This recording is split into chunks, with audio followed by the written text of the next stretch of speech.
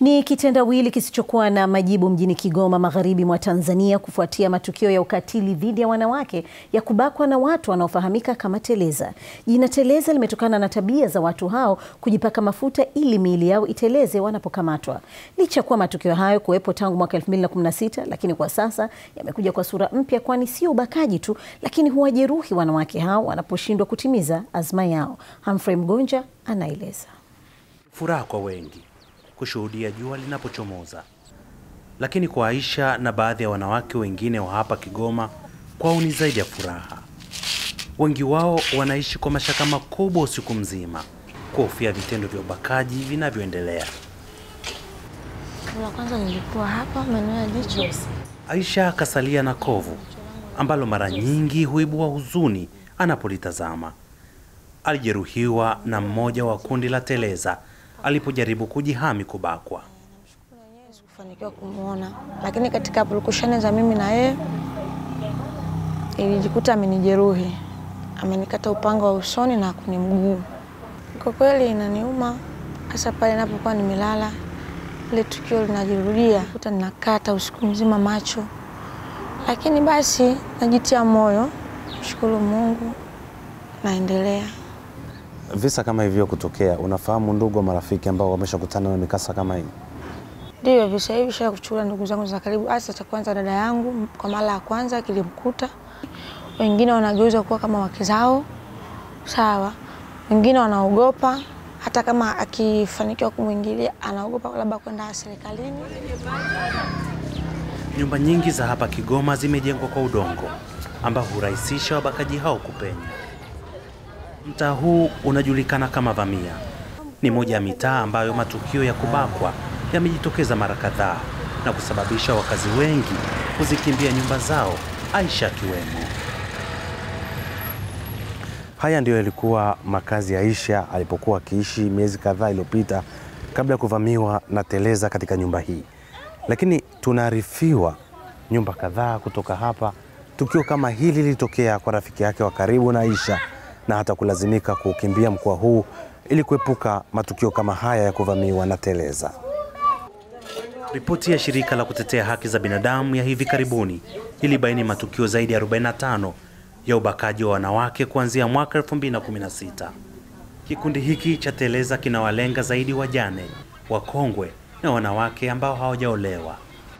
Shirika la kutetea haki za wanawake la hapa Kigoma, Women Promotion, linasema takwimu zinaweza kuwa kubwa zaidi, maana kuna ambao wanajificha kuhofia kunyanyapaliwa na jamii. Kama umepatwa na kadhia hii, ni lazima ujitokeze ukalalamiki, bila kujali yapi yanayotokea. Kulalamika ni vizuri, kwa sababu itaendelea kuonyesha tatizo lina ukubwa kiasi gani.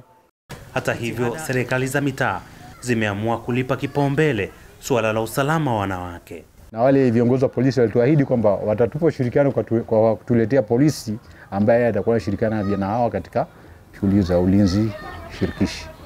Hadi sasa watu tisa wanashikiliwa na jeshi la polisi kwa tuhuma za ubakaji, lakini baadhi ya wananchi hawaridhishwi na jitihada za polisi za kutokomeza madhila haya dhidi ya wanawake. Humphrey Mgonja, BBC, Kigoma, magharibi mwa Tanzania. Na uh, hapo jana nilizungumza na msemaji wa jeshi la polisi la Tanzania David Misime kuhusiana na kuwepo kwa kundi hilo.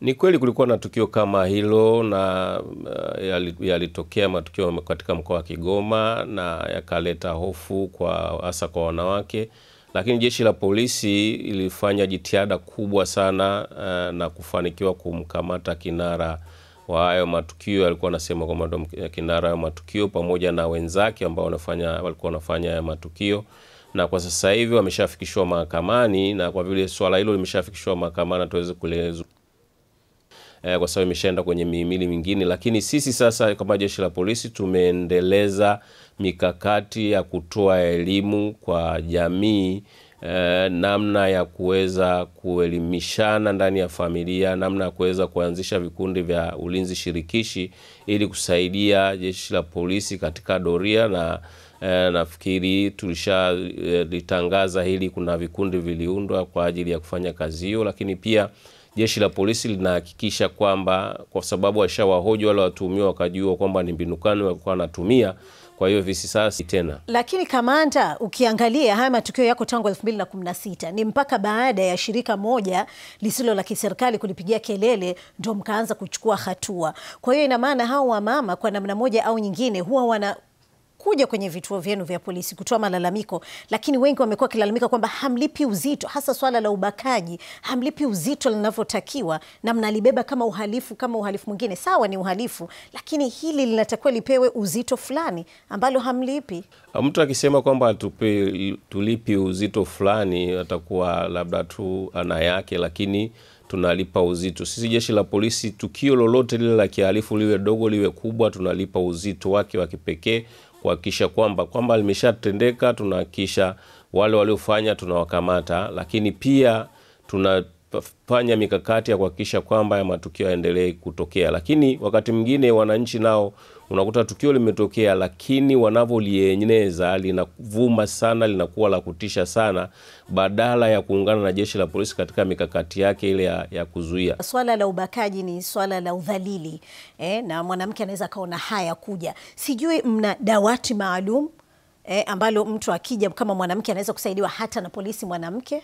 Na tunayo madawati katika vituo vyetu vikuu vya, vya polisi na tumefundisha askari wengi sana namna ya kuhudumia eh, wananchi au wanawake waliopatwa na matatizo kama hayo katika madawati hayo. Kwa hiyo yapo, hata Kigoma yapo, na hivi majuzi tu tumejenga baadhi ya nyumba kwa ajili ya kuhakikisha kwamba haya madawati yana yanaanzishwa katika mkoa huo ili wanawake wanaopata tatizo la aina hiyo wanakuwa katika hali ya usiri fulani, ili kuhakikisha kwamba wanasema kile walichotendea, ili tuweze kukifanyia kazi kwa, kwa bidii yote. Ni msemaji wa jeshi la polisi la Tanzania David Misime alipokuwa katika studio zetu za Dar es Salaam.